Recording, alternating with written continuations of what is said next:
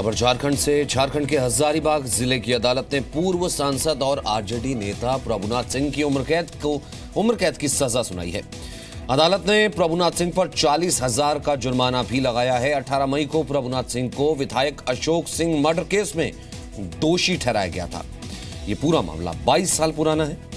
उन्नीस में अशोक सिंह ने मसरख से विधानसभा चुनाव में प्रभुनाथ सिंह को हराया था। इस चुनावी जीत के 90 दिन बाद अशोक सिंह की हत्या कर दी गई थी।